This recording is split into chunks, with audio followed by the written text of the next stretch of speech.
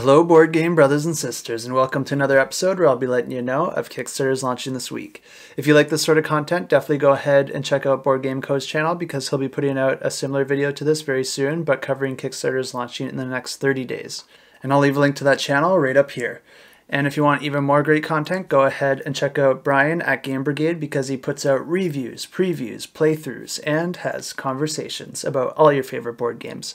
But what I really wanted to focus on here is he just started putting out a new series where he goes over Kickstarter games each week, but focuses on a select few games that he's most excited about. So I think that's a great compliment to my series. So if you like this sort of content, I think you'll like his as well. And I've also talked to him a few times in the past, and he's a really great guy. So definitely check out his channel and show him some love love. And one last thing before we get started is that I wanted to do a little giveaway for hitting 500 members over on the Discord. And I had asked all of you to give me ideas of what you think would be a good giveaway for hitting this milestone. And I took all those ideas, put them into a list, and then I had a little vote over on the Discord. And the winning idea is to do a little giveaway for a $100 credit over on KickstartedGames.com, which is the sponsor of this channel. And I'm still going to have to do a little bit of work to get this all sorted out, but I'll do this announcement more officially next week, and I'll let you know all the details for that and how you can get entered into that giveaway.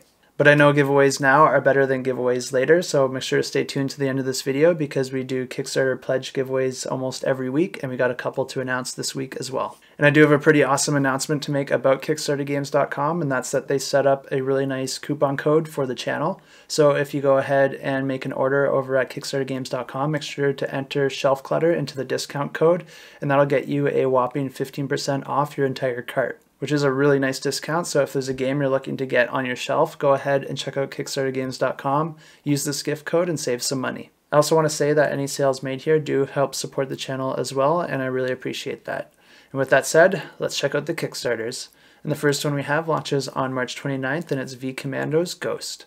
And this is an expansion for the game V Commandos, which plays 1 to 4 players and takes about 30 to 120 minutes to play.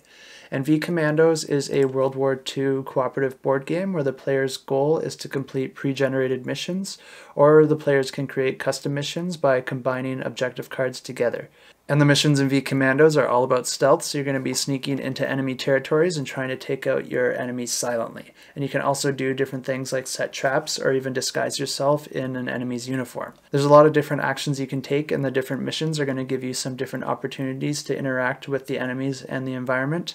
And if you do happen to make some noise and get caught, feel free to open fire, but try to get those alarms shut off again so you can go back into hiding. And although this campaign is for the Ghost expansion, it's also going to offer all previous content as well. And the new expansion is going to come with some new operations, but it's also going to include all the Kickstarter exclusives from previous campaigns as well. This expansion is going to introduce three new game modes. First, there's going to be the XP mode, where every time you complete an objective, you're going to gain XP in the form of an ability card. You can assign that card to any one of your commandos and beef them up so that they gain new abilities as the game continues. You just want to try to keep them alive because if they ever die, then you lose that ability tied to that commando. And then there's also the Lone Wolf solo mode where you can play as a single commando against an entire platoon, and you can also play this with the XP cards. And then finally, there's the campaign mode, which is created by chaining different operations together for players to complete. This campaign is also going to be offering a Deluxified Miniatures upgrade pack for the core game and for all the expansions, and this is also going to come with brand new artwork for all the commando cards so that those cards more closely match the miniatures. And one thing I really like about this publisher is that every time they've released a version of this game, they've taken feedback from the community and then used that to help improve the rulebook. So you can be confident that you're going to be getting a very polished rulebook, and I just like anything that helps get a game to the table easier. This game also has a ton of positive feedback from different reviewers and content creators, so I think it's one to be excited about and one that I'm really looking forward to checking out. And the next few games we have are launching on March 30th, and the first one we have is Longshot the Dice Game, and this plays 1 to 8 players and takes about 20 to 30 minutes to play. And this is a lighthearted push your luck dice game with some really fun artwork. And in this game, you're going to be buying different horses, placing bets on horses, and using some special abilities to influence race movement and perform some other actions throughout the game. Rolling the dice is going to determine which horses move and the options that are available on a turn. Once three horses cross the finish line, earnings are totaled, and the player with the most money at the end of the game wins the game. And the next campaign we have is Vigilante, and this plays 3 to 5 players and takes about 45 to 120 minutes to play. And this is a game where players are going to be building up a team of heroes in order to take out villains. This is a semi-cooperative game with hidden alignments, and depending on your alignment, you're going to have some different objectives to win the game. Players can either be good, evil, or neutral. If you're good, you're going to want to be taking out a certain number of villains depending on player count. And if you're evil, your objective is to just prevent the good players from reaching their goal before the end of the game. And if you're neutral, then you have your own unique win condition and you can actually win with any other players. But you may be interfering with their goals and adding chaos throughout the game. In this game, players are going to be choosing a scenario and performing different actions to recruit heroes, fight villains, heal their heroes, and draw new item cards to help them along the way. At the end of each round, all players are going to roll a set of dice in secret behind their player shield, and then they're going to choose one die to add to the event track. New events will get added throughout the game, adding some new options, and since this is a hidden identity game, it's going to be up to the players to try and figure out which other players are working with them or working against them. And the next campaign is one that I wasn't expecting to be so interested in, but now it's caught my attention. And this one's called John Company Second Edition, and it plays one to six players and takes about 90 to 240 minutes to play. And this is designed by Cole Wehrle, who also designed games like Pax Pamir, Oath, and Root. And I did take a look at the forums, and it looks like they are going to be offering Pax Pamir Second Edition in this campaign. So if you missed out on that in the past, this might be a good chance to get your hands on that. So the title of this campaign is a little bit misleading because even though it is a second edition, this is going to be very different from the original game and it's going to have some extensive revisions. And in this game, players assume the roles of ambitious families attempting to use the British East India Company, otherwise known as the John Company, for their own personal gain. And this corporation actually has a very interesting history. It originally formed in order to facilitate trade in the Indian Ocean, but it later seized control of large parts of the Indian subcontinent and colonized parts of Southeast Asia, and Hong Kong. This company rose to account for half the world's trade and eventually ruled large areas of India, accessing military and administrative power before there was a revolution and the company eventually collapsed. And in this game, players are going to be building up their reputation, securing positions of power, and guiding the company in different directions for their own personal gain. Something that's interesting about this game is a lot of the goals that you're going to be trying to achieve, you won't be able to fulfill on your own. So you're going to have to negotiate with other players, borrow and lend money in order to achieve your goals. One thing to note about this game is that it does take its historic theme very seriously, and that theme might wrestle with a few concepts that may not be suitable for all players. But if you do have an interest in history and learning about some of the struggles this world had to go through in the past, definitely check this one out. And the next campaign is called Lasting Tales, and this plays 1 to 5 players and takes about 45 to 120 minutes to play. And this is a miniatures game inspired by role-playing games like D&D. And in this game, players are going to create their own heroes and embark on an epic campaign linking game sessions together to create a story set in a classic fantasy world. And this campaign is going to be a little bit different than the other ones because it's primarily offering a book. And this book is going to contain all the rules to play the game, including scenarios, a full narrative campaign, enemy profiles, hero creation, as well as pre-made heroes to get new players right into the action. To play this game, you'll just need a handful of standard six-sided die, a ruler, and some miniatures. And this game is actually miniature agnostic, which means that you can just use any fantasy miniatures that you already own, but they will provide options for official minis and terrain as well for you to check out during the campaign. If a cooperative tabletop miniature game inspired by classic role-playing games sounds interesting to you, definitely go ahead and check this one out. I have all the links to all these campaigns in the description below. And the next campaign is Poetic License, and this plays 3 to 5 players and takes about 15 to 30 minutes to play. And this is a party game where players are going to be drafting different words in order to craft poems. Players are going to be writing three lines limited to five syllables on the first line, seven syllables on the second, and five syllables on the third line. You'll be drafting words and putting them into your three lines throughout the game, but some alterations can be made by using some special abilities. After all players have completed their poems, they will each read their own poem and vote for the one that they think is the best. The player that wins the most points at the end of two rounds wins the game. And the next campaign we have is Sentinels of the Multiverse, and this plays 2 to 5 players and takes about 30 to 60 minutes to play. And this one's actually going to be our Discord pick of the week. Every week, members from the Discord community go ahead and vote on the campaigns that they're most excited about. So if you want to get in on next week's vote, be sure to check out the Discord. I'll leave a link to that in the description below. And this game is a cooperative fixed deck card game where players are comic book heroes, and they're going to be fighting against one of four villains in one of four dynamic environments. Each player is going to have their own deck of cards depending on the character that they're going to be playing as, and they're going to be playing those cards to fight against the villain and the environment decks.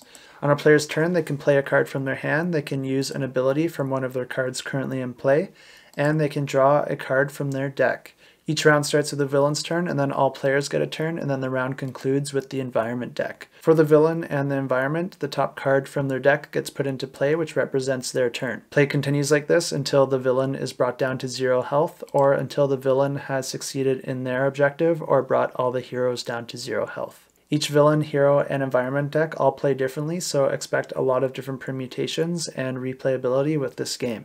And the next campaign we have is Inventor Gadgets, and this plays 3 to 8 players and takes about 25 to 55 minutes to play. And this is a party game where you're going to be combining different cards in order to create inventions. You're going to be pitching your invention to the group in the hopes that it will advance to the next round. Each round you can play as the inventor, the buyer, or the marketing agent, and you're going to want to contribute additional functionality, a slogan, or a catchphrase in order to add more contribution to the invention and award you more royalty money. The player who has the most money at the end of the game wins.